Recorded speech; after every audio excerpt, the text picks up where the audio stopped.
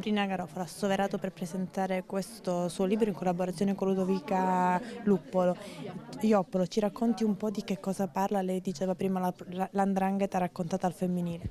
Sì, questo è un libro che nasce dal voler raccontare l'andrangheta dal punto di vista della vita quotidiana, da come il potere dell'andrangheta viene vissuto e influenza la vita delle donne e degli uomini. È un libro che parte dalla vita quotidiana, sono storie di donne e uomini semplici, storie normali, noi le chiamiamo le piccole storie. Volevamo un po' raccontare dal punto di vista delle donne e degli uomini come il potere dell'andrangheta influenza sulle, sulla propria vita, sono storie di persone che si innamorano e che quindi devono costantemente attraversare quel confine incerto tra l'andrangheta e l'amore, tra la morte e la vita.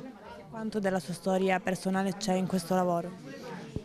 Noi ci siamo tutte, siamo noi stesse, questo è un libro scritto da donne, un libro scritto da giovani donne del sud e ci stiamo dentro da ricercatrici e da cittadine calabresi e siciliane. È stato difficile trovare queste storie in Calabria?